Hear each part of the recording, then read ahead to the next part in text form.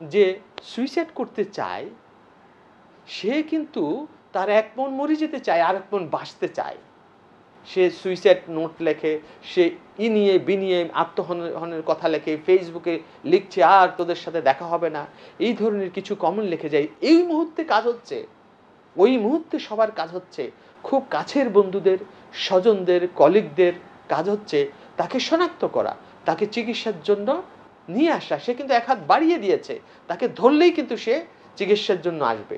সুতরাং এই মুহূর্তে সবার কাজ হচ্ছে সোশ্যাল ট্রিটমেন্ট সাপোর্ট যে তাকে চিকিৎসক, মনোচিকিৎসকের কাছে নিয়ে যাওয়া এবং সর্বোচ্চ চিকিৎসাটা গ্রহণ করা। আর মনস্তাত্ত্বিক সেবার মধ্যে এটা একটা প্রসিজিওরের মধ্যে যেতে হয়, তার মধ্যে নেগেটিভ চিন্তা দ্বারা আক্রান্ত হয়, তার মধ্যে আচরণগত কোনো উচ্ছ্বাস থাকে না, আগ্রহ থাকে না, তার মধ্যে তাকে উদ্দীপ্ত করতে হয়, তার নেগেটিভ চিন্তার জাল থেকে তাকে বের করে এনে তাকে পজিটিভ চিন্তায় প্রতিস্থাপন করতে হয়।